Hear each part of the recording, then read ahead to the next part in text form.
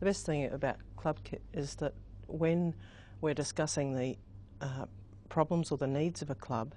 uh, it makes it easier for us to identify things that we can help with and it gives us resources that are easily accessible to do that. And some of the issues that people may have uh, would be around the accessing funding. Often we'll have a club that either can't develop because of lack of funds or one that may be folding because of, uh, of lack of funds and uh, many volunteers are just not aware of what's available to them. And, and then um, on finding out what's needed to make funding applications and that sort of thing through using the club kit often they become aware then that they have other things that need to be done uh, in terms of their structure and financial management.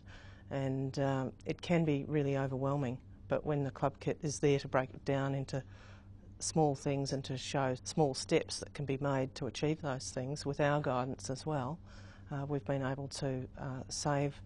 a, a, one club in particular that was folding and we've been able to help uh, two new junior clubs establish themselves this year and they've both been able to access funding which they just didn't even know was available before.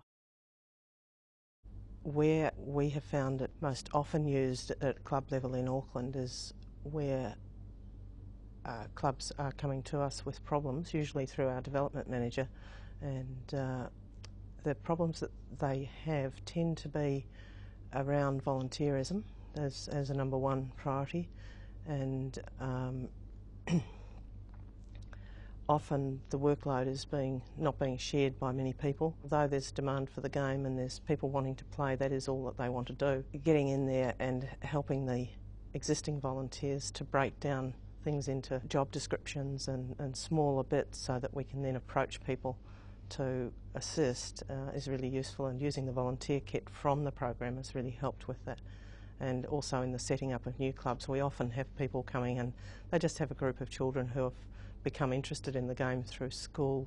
or just because there are courts nearby and someone with energy will decide that they want to bring a group together formally and play on a regular basis and we will get involved um, from two angles. We'll help them to build a structure that's sustainable and we will use resources for that and also with the funding side of it.